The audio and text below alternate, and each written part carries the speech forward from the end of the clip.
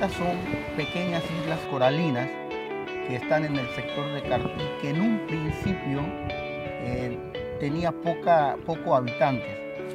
De repente hubo un crecimiento demográfico considerable y las islas se fueron rellenando para que hubieran más casas. Eso ha generado un problema serio que es el problema de la basura.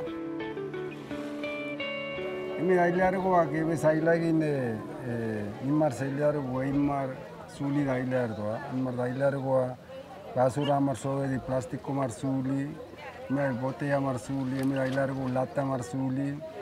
Pela huevan cardo. Well, the negative part, you know, when you come into Cartier, you, there's a lot of garbage on the beach, and it doesn't really make this place look as beautiful as it should. En la zona de Cartier hay, este, se generan alrededor de 1.300 toneladas de basura al año. Y de eso un 34-35% es este, desechos sólidos que pueden ser de alguna manera tratados o reciclados. We've tested the water It's got high counts not only of bacteria, but of heavy metals. We have got to clean up these islands. And the plastic going right into the sea is a tragedy. We have to clean up these islands. We don't have a choice.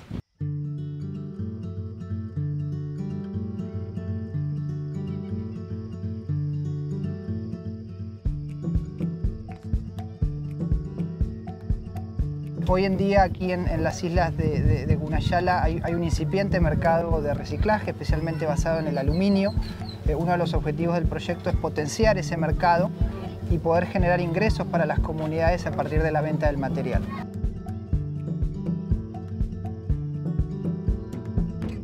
Uh, organic can have an impact on the local ecosystems in the water when they dump it in the water. So it can be used for compost, which we can use for fertilizer for gardens. Uh, and we're also looking into biodigestion processes where they can produce gas for cooking in addition to fertilizer. So it's a high value product that we think we can encourage people to start using here and improve their lives. Las actividades van a empezar con talleres eh, dirigidos a mujeres y hombres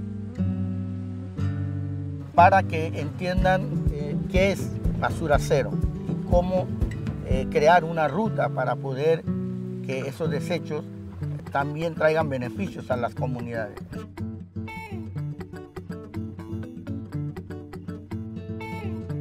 Un gran desafío que enfrentan estas islas es el de la disposición final. Hoy hay un botadero donde son dispuestos algunos residuos que generan eh, grandes generadores como los restaurantes. Pero el objetivo de este proyecto es mejorar la disposición final. Hay un problema de basura seria en la comarca. Nosotros tenemos un vertedero de basura, pero no reúne tampoco las condiciones. Deberíamos tener un incinerador porque estamos manejando desechos punzocortantes de muy alto riesgo. We don't have the choice of failing. We have to make these projects work.